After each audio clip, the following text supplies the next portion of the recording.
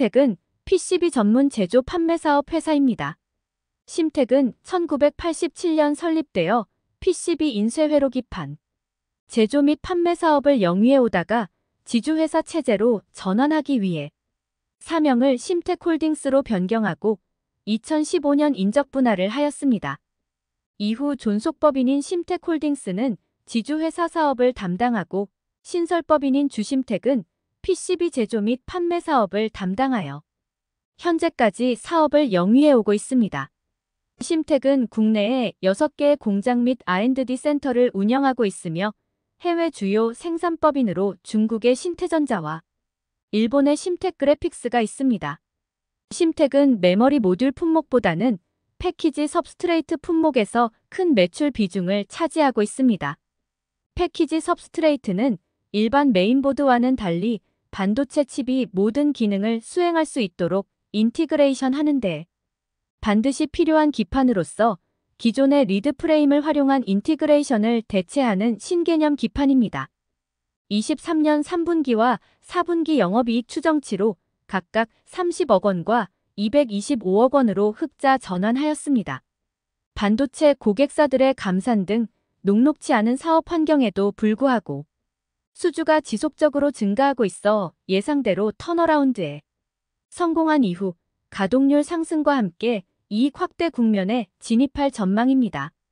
스마트폰, PC, 서버 등 전방 셋 수요 약세에 따라 메모리용 기판의 회복 속도가 미흡하지만 SIP, GDDR6용 기판 등 비메모리용 기판이 실적 개선을 주도하고 있습니다.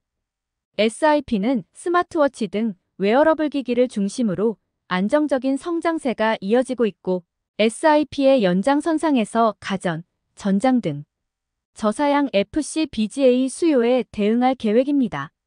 GDDR6용 기판은 그래픽 카드와 게임 콘솔 수요가 양호한 가운데 심텍의 월등한 시장 지배력이 돋보이고 있습니다.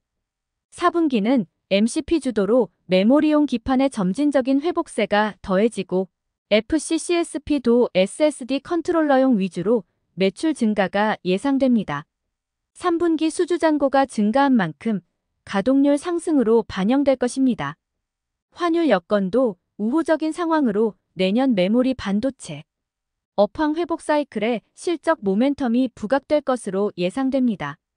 패키지 기판 사업은 가동률 및 판가와 연동된 이익 레버리지 효과가 큰 편으로 저부가 텐팅 기판에서 고부가 MSAP 기판으로 전략적인 사업 포트폴리오 재편을 진행 중입니다. 신규 제품군이 될 RFSIP는 내년 하반기 생산을 위해 고객사들과 사업화를 준비하고 있고 전장용 기판에서 성장을 찾고자 하며 FCCSP와 SIP가 핵심 역할을 수행할 것으로 기대됩니다.